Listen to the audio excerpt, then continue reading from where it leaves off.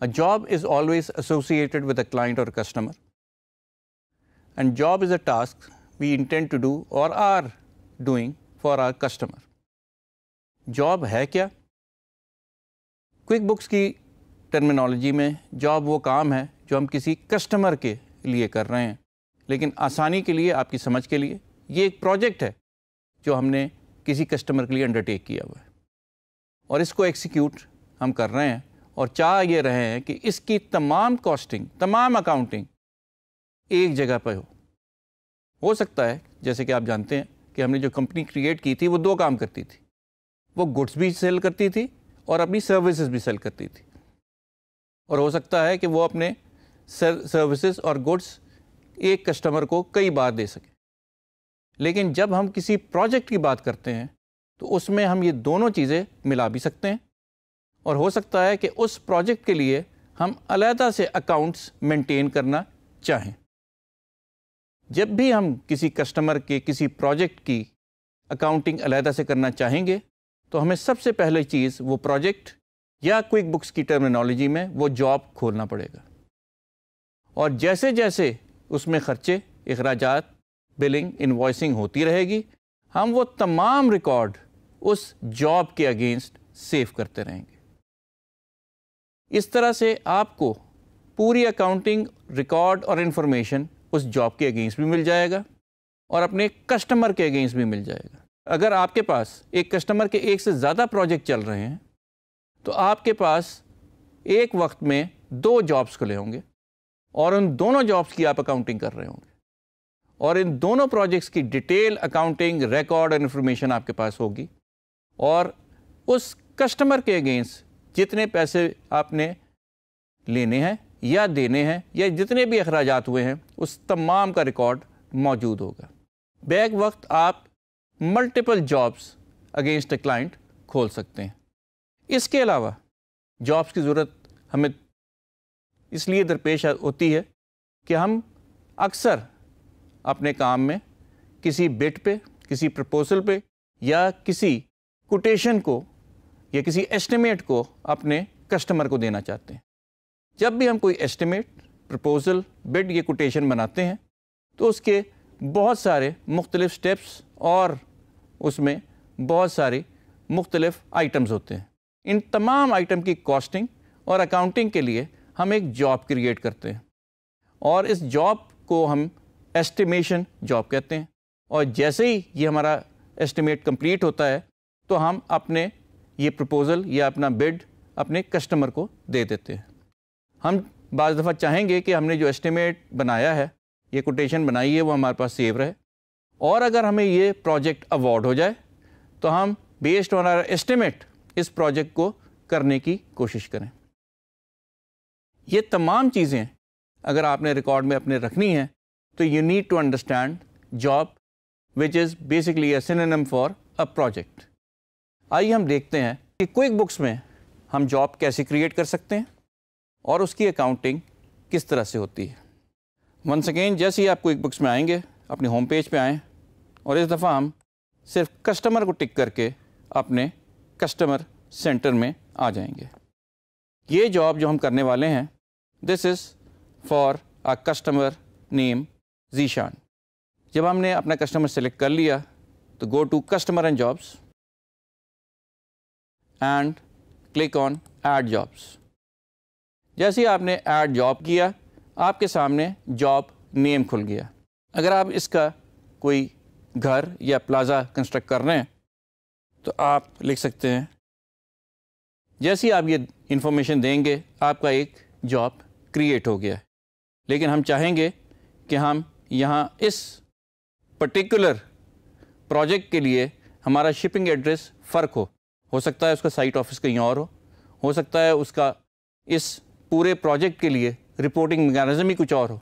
हो सकता है उसका सब कॉन्ट्रैक्टर ही कुछ और हो। तो उस कस्टमर से हट के हम यहाँ कोई और एड्रेस दे सकते हैं। और ये इस प्रोजेक्ट या जॉब के लिए डिफ़ॉल्ट शिपिंग एड्रेस होगा, ये याद रखें। उस कस्टमर से जब भी हम कोई ख़तों की दावत या ईमेल वगैरह करेंगे, उसके लिए एड्रेस फ़र्क है, लेकिन for this particular job we have a different address जब आपने ये दोनों चीज़ें बना दी क्लिक करें a new job has been added to our client और कस्टमर जीशान अब आप ये देख सकते हैं कि नीचे आपको ये जॉब नज़र आ रहा है और ये इंडेंटेड है। आपका कस्टमर ऊपर है और उसके अंदर जो इंडेंट पे नज़र आ रहा है, ये आपका वो जॉब है जो कि आप उसके लिए कर रहे हैं। अच्छा हो सकता है कि हम इसके लिए एक से ज़्यादा जगह काम कर रहे हों तो आइए हम एक और जॉब क्रिएट करते हैं। और इसका भी शिप टू एड्रेस हम नया दे देते हैं। वंस अगेन ये इस जॉब का डिफ़ॉल्ट शिपिंग एड्रेस है। This is not the shipping address of your customer और क्लाइंट आइए, एक और हम इसमें ऐड करें और फिर हम देखते हैं कि हम ये काम कर क्यों रहे हैं। अब हमारे पास इस कस्टमर के तीन प्रोजेक्ट्स या जॉब मौजूद हैं। इसका मतलब ये है कि हम बैक वक्त इसके लिए तीन प्रोजेक्ट्स पे काम कर रहे हैं और उनकी सेपरेट अकाउंटिंग मेंटेन कर रहे हैं। हम चाहें तो किसी भी प्रोजेक्ट की जाके उसकी डिटेल देख सकते हैं कि इस प्रोजेक्ट में क्या काम हो रहा है। अगर आपको याद हो कि हमने यहाँ मुख्तलिफ़ terms additional information customer type रखा हुआ था, लेकिन ये उस कस्टमर के लिए कॉमन हो सकता है। लेकिन जॉब इन्फॉर्मेशन वो इन्फॉर्मेशन है जो आपने यहाँ देनी है।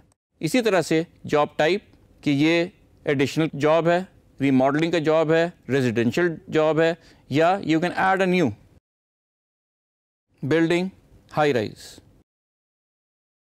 job status awarded start date projected end date क्योंकि अभी ये प्रोजेक्ट जारी है, इसलिए we can not give the end date we can only provide the projected end date जैसे आप क्रिएट करेंगे तो आपके पास इस प्रोजेक्ट के बारे में तमाम रिपोर्ट और तमाम इन्फॉर्मेशन इधर मौजूद होगी। अब हम इस जॉब को कोई ना कोई बिल अटैच करते हैं ताकि देख सकें कि कोई वैल्यू इसमें आ रही है या नहीं।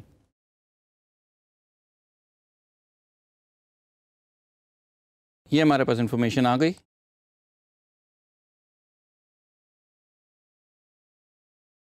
ये हमने इसकी इन्वॉइस बनाती है। आइए अब देखते हैं कि हमारे कस्टमर के में ये किस तरीके से रिफ्लेक्ट हो रहा है। लेकिन अगर आप यहाँ देखना चाहें तो इस होम पेज पे राइट हैंड साइड पे आपके अकाउंट्स में ये रिफ्लेक्ट होना शुरू हो गया let's go to our customer centre. और अब आप देख सकते हैं, जो चीज़ मैं आपको पहले से बता रहा था, कि जैसे ही हमने उस कस्टमर को बिल किया है या इनवॉइस भेजी है अगेंस्ट अ पर्टिकुलर जॉब उस जॉब के अगेंस्ट भी एक लाख रुपए आ गए, और जीशान कस्टमर के अगेंस्ट भी एक लाख रुपए आ गए इसका ये मतलब नहीं है कि जीशान ने हमें दो लाख रुपए देने सिर्फ़ ये इन्फॉर्मेशन आपको ये दे रहा है कि जीशान कस्टमर ने हमें एक लाख रुपए देने हैं। और देने किस जॉब या प्रोजेक्ट की वजह से है? That project is basically plaza Lahore A उसके अगेंस्ट इसने हमें ये पैसे देने हैं। So this is how you do your project costing and accounting as well as your journal accounting आप प्रोजेक्ट पे अपनी सारी अकाउंटिंग और जितने भी एक्सपेंसेस आपके हो रहे हैं, वो रिकॉर्ड करते जाएँगे। वो ऑटोमेटिकली आपके कस्टमर में रिफ्लेक्ट होते चले जाएँगे।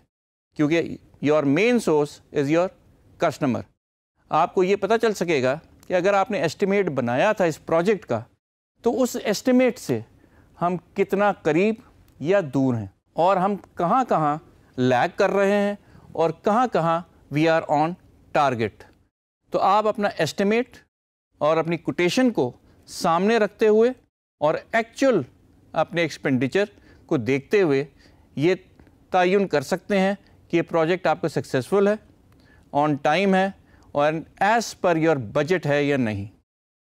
इसी तरह से आपका कस्टमर भी ये देख सकता है कि आप इस प्रोजेक्ट में उतना ही खर्चा कर रहे हैं जितना आपने एस्टिमेट में या बिड में या कोटेशन में उसको जमा कराया था या नहीं?